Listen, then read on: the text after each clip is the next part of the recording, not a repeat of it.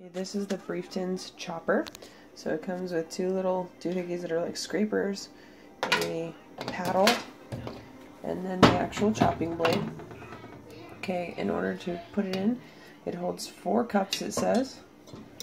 You put one of these little pieces on the top. They line up. Sorry, you didn't get to see that because I was talking and trying to do stuff and record. Okay.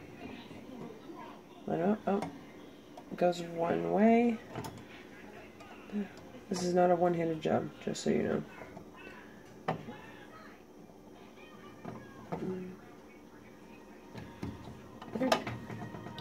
That's one. It's gonna go top. Oh, I'm not good at this. Okay, here's the other one. Slides on. This way, I think. No, I was right the first time. Sorry, I have a cold. My brain is broken. Okay.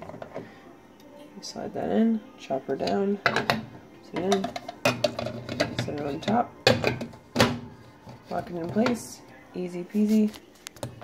And then you pull this and it chops. Okay, so pull this and it chops. You do it over and over, it works great. I really like this thing. I've made several salsas with it, and um, overall, I would say it's a definite win. My only potential drawback is the fact that you can't do it one-handed, but that's not something most people are worried about. Um, it scrapes really well from the bottom. I like that you can see what you're doing, and overall, I think this is a great asset for any kitchen, especially if you like to make salsas and avocado guacamoles and such. Okay. Thank you.